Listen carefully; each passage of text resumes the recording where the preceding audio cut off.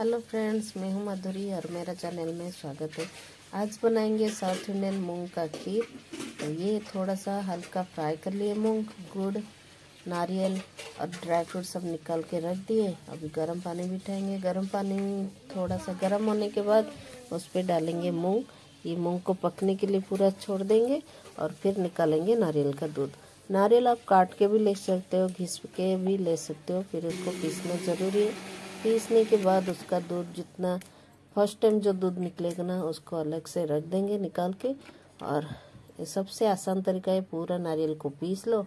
और एक मखमल कपड़ा, नहीं तो ऐसे एक रुमाल के कपड़े में डाल के सारा दूध निचड़ के निकाल दो, नारियल का दूध। वैसे भी आप हाथ से निकाल सकते हो, लेकिन बहुत टाइम लगता है। ऐसे निकालेंगे तो जल्दी से निकल जाते हैं। और ये खीर बनने में आधा घंटा ही लगेगा और आधा घंटा में ही मेरा पूरा काम हो गया तो इसे मैं दो बार पीस के ले ली हूँ। दो बड़े नारियल ली थी। और सारा दूध ऐसे निकाल देंगे। दो तीन बार ऐसे करना पड़ेगा। पहला जो दूध है वो रख देंगे साइड में। वो लास्ट में डालेंगे। और और एक दो बार जो दूध निकलेगा उसको बॉईल किए हुए इसमें मूंग में डालेंगे। तो ये हमारा और एक बार गर्म पानी, थोड़ा सा हल्का गर्म पानी डाल देंगे इसी नारियल में। फिर अच्छे से इसको फिर निचोड़ के निकाल देंगे।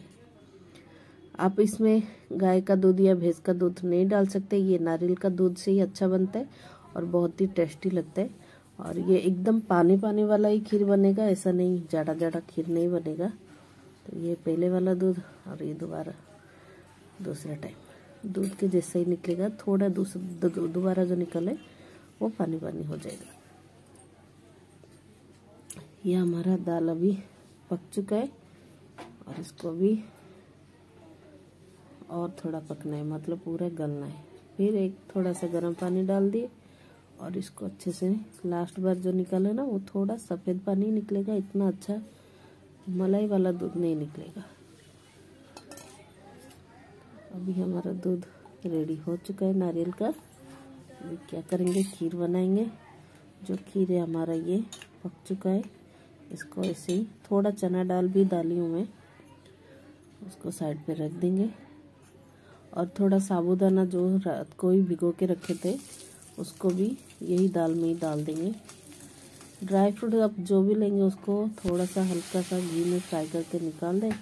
फिर बाकी का दूध डाल देते। हम लोग को उड़ीसा वाले क्या करते तेज पत्ता और काली मिर्च फोड़ में डालते, लेकिन साउथ इंडियन में नहीं डालते तो मैं नहीं डाली। गुड़ भी काट के रख दिए। दूध हमारा बॉईल हो चुका है, उसमें डाल देंगे। बॉईल की हुई दाल, साबुदाना और चना दाना जो भी हमने किया है बॉईल करके रखे। सबको मिक्स कर देंगे, ये एकदम फटाफट बन जाएगा, अभी ज़्यादा टाइम नहीं लगेगा। और एकदम पानी पानी वाला ही। खीर बनेगा। फिर हम लोग डाल देंगे ड्राई फ्रूट। जब रेडी हो जाएगा लास्ट में डालिए गुड़, ताकि गुड़ डाल देंगे तो और नहीं पकेगा तो सब पकने के बाद ही लास्ट को गुड़ डालेंगे। अभी हमारा खीर रेडी हो गए। अभी डाल देंगे इलायची का पाउडर और जायफल का पाउडर ये हमारा खीर रेडी हो गया कैसा लगा कमेंट में बताइए। और अभी तक मेरे चैनल को सब्सक्राइब नहीं किया तो जल्दी से सब्सक्राइब करिए। Thank you thank you for watching